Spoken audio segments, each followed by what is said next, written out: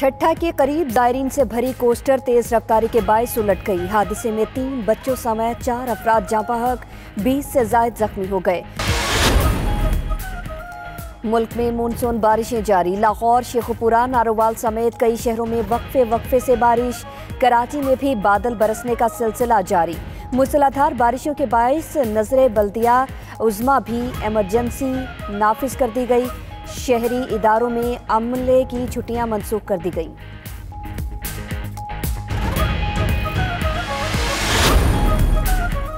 सरहद पार से हमले, दस बहादुर जवान मातरे वतन पर कुर्बान। छह फौजियों ने शिमाली वजीरिस्तान, चार जवानों ने बलूचिस्तान में जाम शहादत नोश किया। शहीद कैप्टन आकिब जावेद की आबाई इलाके भेरा में फौजी एजाज के साथ तदफीन। नमाजी जनाजा में फौजी अफसरान और अहले इलाका की कसीर तादाद शरीक हुई।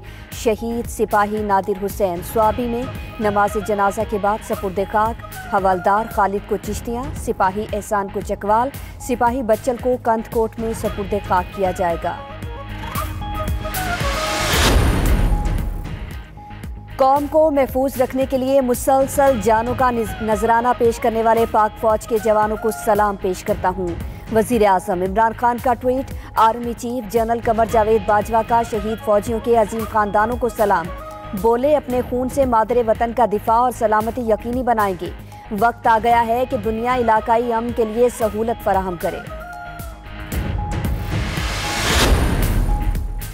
लाड़काना की तहसील अस्पताल रतोडेरों में एचआईवी स्क्रीनिंग के दौरान तीन नए केसेस रिपोर्ट। मुतासर अफराद की मजमू तादाद नौ सौ पैंसठ तक जा पहुँची। Incharge program doctor Sikandar Memon के मुताबिक मुतासरीन में सात सौ बानवे बच्चे शामिल हैं।